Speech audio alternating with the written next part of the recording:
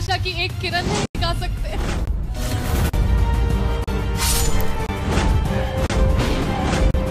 पवित्रा ने पिशाचनी के पेट में मारा चाकू। उड़े घर वालों के होश। बात हो रही है कलर्स टीवी के सीरियल पिशाचनी की। जैसा कि आपको पता ही है कि पिशाचनी की सच्चाई पवित्रा को अच्छी तरह से पता है और वो किस तरह से तबाही मचा रही है, ये बात भी पवित्रा को अच्छे से पता है।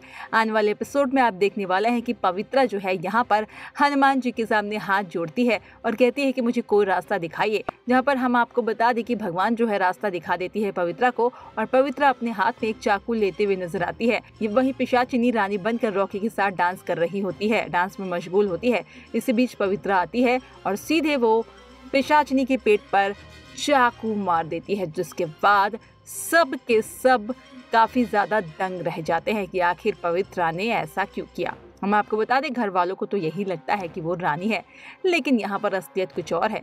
वह ये देखना काफ़ी ज़्यादा दिलचस्प होगा कि पवित्रा ने तो पेशाचनी को चाकू मार दिया है, लेकिन अब क्या होगा पेशाचिनी का हाल? टीवी सीरियल से जुड़ी तमाम लेटेस्ट अपडेट के लिए चैनल को सब्सक्राइब करना ना भूलिएगा।